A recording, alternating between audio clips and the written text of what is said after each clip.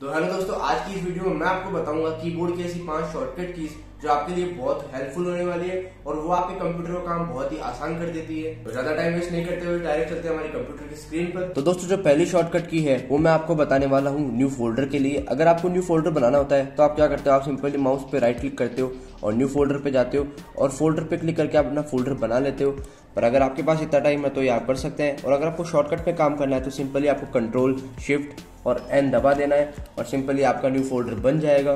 और दोस्तों, जो दूसरी शॉर्टकट की है, वो है आपकी डेस्कटॉप के लिए। अगर आपने अपनी डेस्कटॉप के ऊपर बहुत सारे सॉफ्टवेयर विंडो एक साथ ओपन कर रखे हैं, आपको उनको एक साथ मिनिमाइज करना है तो आपको सिंपली क्लिक करना है विंडो प्लस टी और वो सारी फ़ाइल सॉफ्टवेयर एक साथ मिनिमाइज हो जाएँगे। और दोस्तों, जो थर्ड नंबर शॉर्टकट की है, वो तो आपके लिए बहुत ज़्यादा काम आने वाली है। अगर आप गेम खेल रहे हैं और आपकी मम्मी आ गई तो आपको सिंपली विंडो प्लस एल कर देना है और आपकी स्क्रीन लॉक हो जाएगी, आपकी मम्मी को कुछ दिखाई नहीं देगा। और दोस्तों, जो फोर्थ नंबर शॉर्टकट की है, वो भी आपके लिए बहुत ज़्यादा काम आने वाली है।